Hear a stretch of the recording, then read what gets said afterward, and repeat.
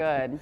Valentine's Day is tomorrow, so Mm-hmm. very important. Yeah. Well, many people, by the way, since it is Valentine's Day, are thinking about their loved ones. That's right. And for one local couple, it meant tying the knot over the weekend. But when they realized their most honored guests couldn't be there, they brought the wedding to them.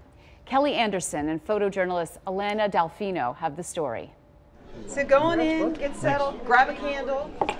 It's one of the most memorable days in a person's life. Just excited for the day. We have lots of good friends and family coming to join us. The embellishments are all there the cake, the flowers. I'm feeling good. I mean, I'm not nervous. Very calm.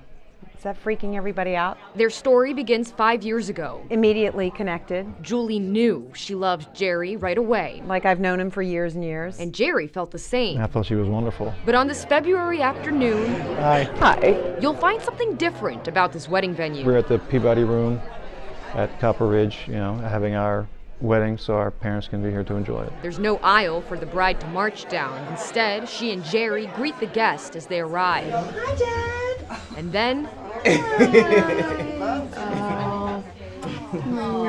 a guest of honor shows up. Daddy. Julie's father lives here. Oh, you're squeezing me tight. Hi.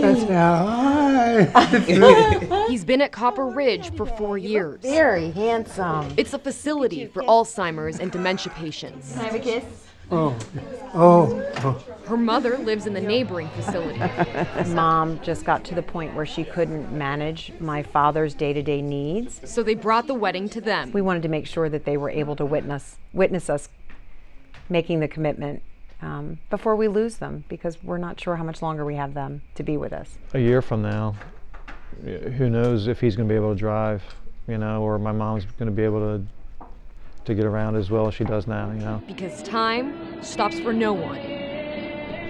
So dad has progressed through Alzheimer's. Physically, he's a pretty healthy guy.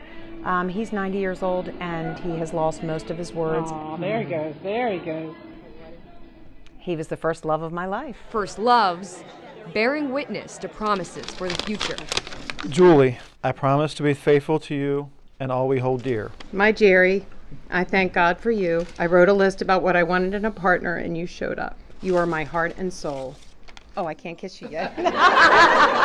Tears are balanced out by laughter. Jerry, you may now kiss the bride. On to ever after. In Sykesville, I love you, honey. Kelly Andersen, Fox 45 News.